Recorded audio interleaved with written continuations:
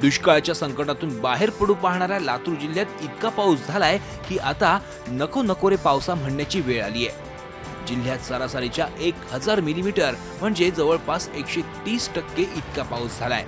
त्यामुळे मांजरा धरण रेना मध्य प्रकल्प तिरु प्रकल्प आणि तावरजा प्रकल्पाच्या धरणाचे दरवाजे उघडण्यात आले परिणामी अनेक गावांमध्ये पुराचं पाणी शिरलंय.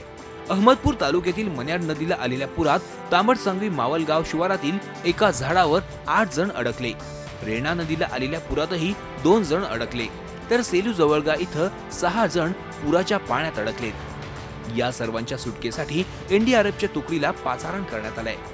या पुरानं शेतीचंही मोठं नुकसान केलंय. सोयाबीनचं शंभर टक्के नुकसान झालेलं आहे. सरकारने तसे आदेशही खालीपर्यंत दिलेले आहेत सर्वे करण्याचे. विविध वि विमा कंपनी असतील सरकार म्हणून असतील जवळपास सरसकट सर्व पूर्वी आदेश असे होते की नदी आणि नाला. पण आता सरसकट सर्वांचे पंचनामे त्या ठिकाणी होत आहेत.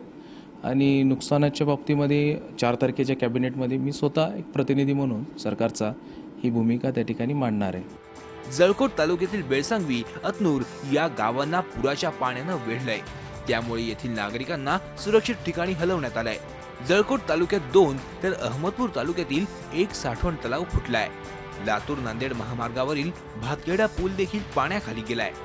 आतापर्यंत या अतिवृष्टीनं दोघांचा बळी घेतलाय. तसंच हजारो हेक्टर शेती पिकाचं नुकसान केलंय.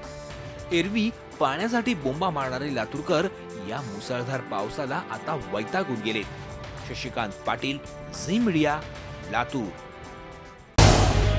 झी चोवीस तास. रहा एक पाऊल पुढे.